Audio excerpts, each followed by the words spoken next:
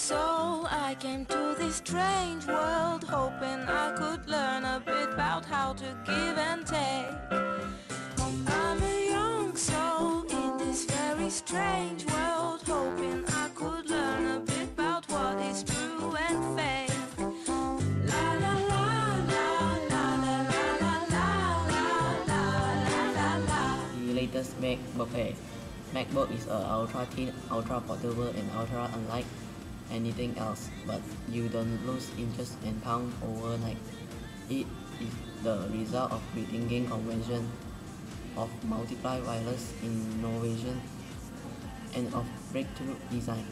With MacBook Air, mobile computing suddenly and has a new standard. What makes the Air so thin? MacBook Air is nearly as thin as your index finger, particularly every detail that could be streamlined has been. Yet it still has a 13 inches widescreen LED display, full-size keyboard, and large multi-touch trackpad.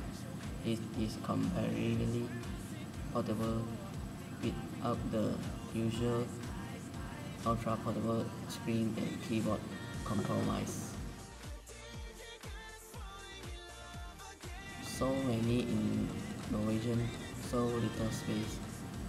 The incredible thickness of MacBook Air is the result of numerous size and weight sharing innovation from the slimmer hard drive to strategically hidden input and output port to a lower profile battery. Everything has been considered and